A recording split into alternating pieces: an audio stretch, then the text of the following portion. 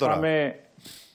Ε, ε, λοιπόν, στην Τουρκία υπάρχουν πληροφορίες, τουλάχιστον τα τουρκικά μέσα ενημέρωσης ε, δημοσιεύουν και πληροφορίες, πως ε, οι του- τα τουρκικά F-16, δηλαδή τα τουρκικά F-16, αυτά που ε, ε, πιθανότατα θα παραλάβει η Τουρκία από τις ΗΠΑ και τα καινούρια, αλλά και τα εξυγχρονισμένα, δεν θα μπορούν να πετούν ε, Στο Αιγαίο. στο Αιγαίο εναν- εναντί της Ελλάδος, όπως και στη Βόρεια Συρία. Αυτό αναφέρουν χαρακτηριστικά Αν έτσι και λένε είναι, είναι ότι μεγάλη τα ελληνικά είδηση. F-35 Κοίταξε, αυτό που λες Ναι, τώρα, κοιτάξτε, και Μανώλη, σήμερα- το έχει και η καθημερινή και στην κα- σήμερα. Στο ρεπορτάζ του ο Βασίλης ο Νέδος αυτό λέει.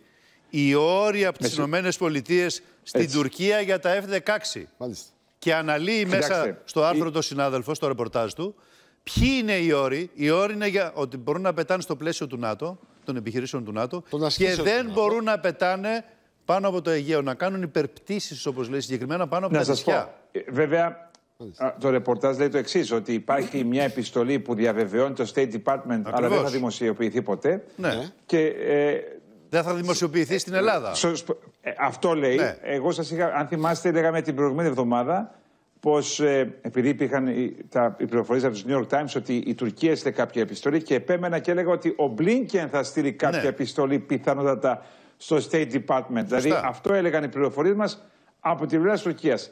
Σήμερα στην καθημερινή υπάρχει η πληροφορία ότι εστάλει αυτή η επιστολή. από αλλά το δεν θα State Department δημοσιοποιηθεί. στο Κογκρέσο.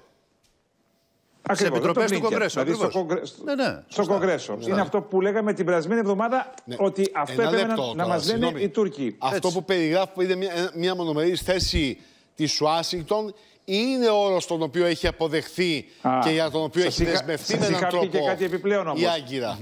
Δεν, δεν ξέρουμε αν υπάρχει και συνημένη Συνημμένο. κάποια επιστολή. Αν είναι κάτι επιπλέον. Attachment. Αν υπάρχει Έτσι. μαζί με αυτή την επιστολή του, του Blinken Ναι, ναι. και κάτι ακόμα από κάτω. Αυτό που είχε γράψει η New York Times. Δηλαδή, αν Μάλιστα. Πάντως, διαβεβαιώνει πάντως και κάτι η υπάρχει, Τουρκία. παιδιά, εδώ. Έτσι φαίνεται. Εδώ κάτι υπάρχει, γιατί περιγράφεται στο ρεπορτάζ και το αν δεν τηρηθούν οι όροι τι θα γίνει. Ναι, ναι. Και λέει ότι η πρώτη φάση Ναι, της μη είναι- τήρησης ποια είναι, μια διπλωματική πρωτοβουλία εκτόνωσης. Εάν δεν αποδώσει, λέει αυτό, σταματάει η, προ- η προμήθεια.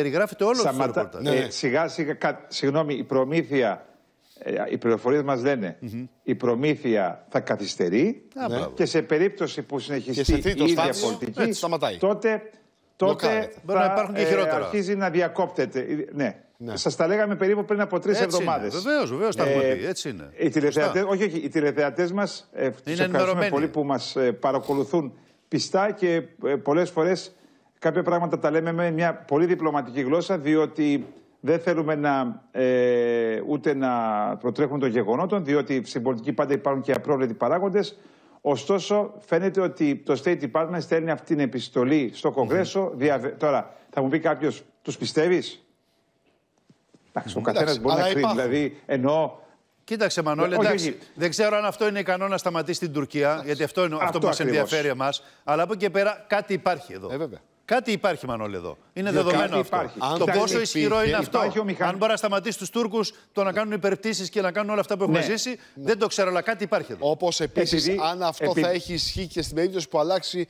ο ένικος του Λευκού Οίκου.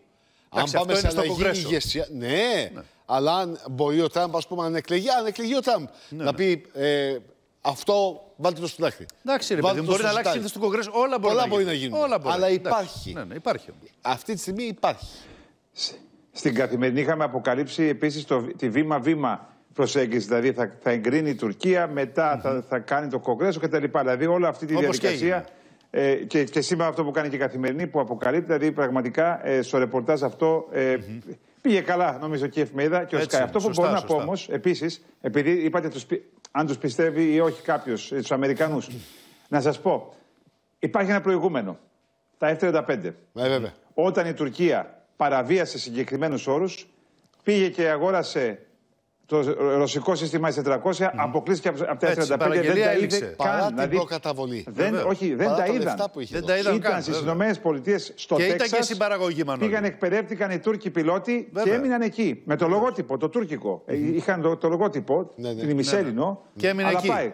Βέβαια. Λοιπόν, πάμε να δούμε το τι λένε και τα- οι Τούρκοι για τα F-16 και στο Αιγαίο και το τι θα συμβεί, μάλλον δεν θα συμβεί, και από Μάλιστα. εκεί πέρα επανερχόμαστε.